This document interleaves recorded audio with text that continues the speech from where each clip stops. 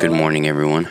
Just a really quick tip. What, what I do is on my commute into work, I usually leave the house at around 4.30 and I get here at or just before 5 in the morning, right? And on the way to the office, I'll record a voice memo on my phone. I take this voice memo, and I don't know how I usually get it onto my computer, but um, grab the voice memo and throw it into Google Drive because I refuse to use Apple's iCloud because you keep asking me for money and I'm not gonna give you any more money, dude. Anyway, I'll throw it into Drive. I'll go into Microsoft Word and I will uh, hit this dictate here and transcribe. Now I'll upload the audio and it'll upload that audio, it'll transcribe it. And for whatever reason, Microsoft Word, the desktop version of it, it doesn't have this feature. So if I open up Word, so here I've opened up the um, the desktop version. If I hit dictate, there's no transcribe here. I don't understand. Maybe it's not meant for me to understand. Anyway, okay, so it took all of what I said here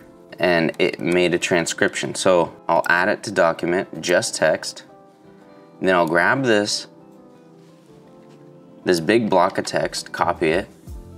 Then I'll head over to ChatGPT, paste it, shift, enter, enter. Please summarize everything I said into bullet points. Actually, you know what? There's certain things that I said in there that might actually already be kind of like prompts. Let's just see what it does.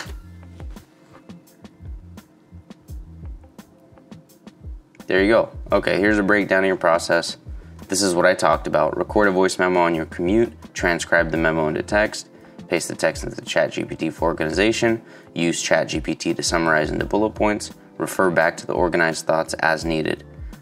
Consider setting up the camera in the office for a voiceover if it fits your schedule and adds. See, there you go. Thank you, ChatGPT. I really appreciate that. This is a very, very small example of what I do, but there will be times where I I will be driving to work, you know, and I'll have some sort of an idea and I will just start to word vomit into a microphone. This is what I use, really.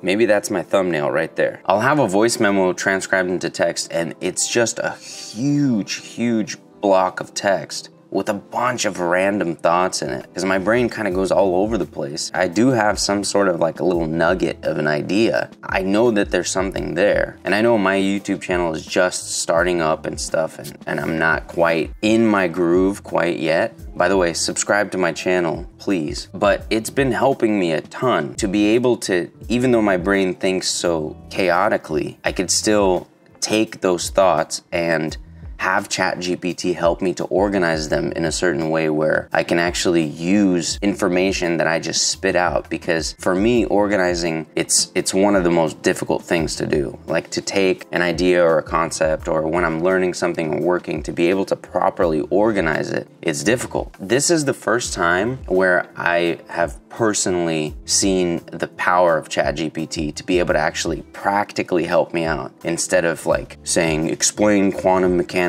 to me like I'm eight years old. Like there's no use for me to know what quantum mechanics is. So it's like ChatGPT is such a powerful tool, but up until this specific way of using it, I haven't really been able to figure out a practical way of using it other than like asking it certain questions hoping to God that it it's correct because a lot of times it's wrong. In this situation though, I don't see how it could be wrong because I'm giving it all of the data. So I don't see how it would pull, take, unless it took something that I said and just completely replaced it with something else. Plus, I think the most important part of it is that in, in those longer text blocks that I put into it, a lot of times it will omit something that I said. Just because it's trying to be more efficient, I guess, I'll just type in like, oh, I actually remember talking about this. And then it'll be like, oh yeah, here. And then it'll bring up the entire thought that I had in a really structured way. It's just an interesting method that I've been using recently over the past, I don't know, maybe a couple weeks and uh, it's been a really really cool and fun way to organize things anyway i hope that helps subscribe if you haven't already and I will see you in the next video.